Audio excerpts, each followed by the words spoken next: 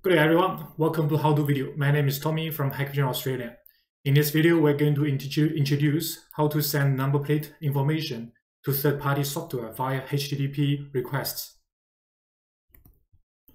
So first part is about why we need this function. Today, digitalization is a trend happening in every industry such as hospital, factory, industrial park. Sometimes customers may ask, how can I get a live traffic data in the dashboard?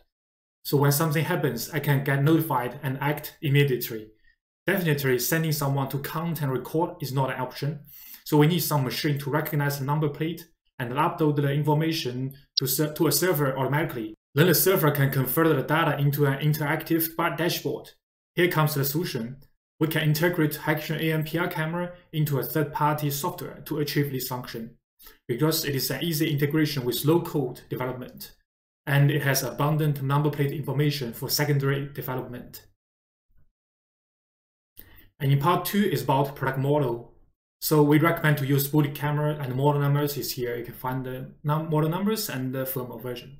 And for product selection, here's the standard. We need to figure out the distance between effective number plate and the camera, then choose the lens accordingly in this table. So to get a high recognized accuracy, please go to YouTube and search how to set up Hikvision ANPR camera for installation tips and the configuration. Then follow the tips and steps in that video. And in part three is about step-by-step -step configuration. Here, we use a software named uh, Net Assistant to simulate the server. If you have a real development platform, such as Amazon Cloud, configure the server the same way as the screenshot here. So in number one, here the IP address is the PC's IP address. So here the PC is a server and the port 8000 is a server port. And after configuration, click connect.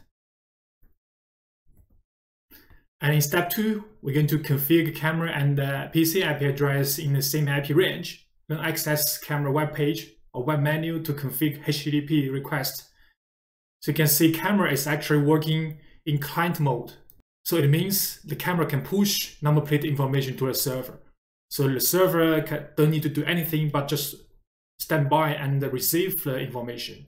So here you can see the formula for the HTTP request, which is very simple. And the example here, we can see the sample is from the test when I made this video. And in step three, uh, we encourage you to access this website here. So this website is about Hikvision Technology Partner Program. If you want to get further tech support during the integration, you know, we encourage you to register account in this uh, website. So after you register, there will be someone in the background to verify you and uh, you can get tech support during the integration.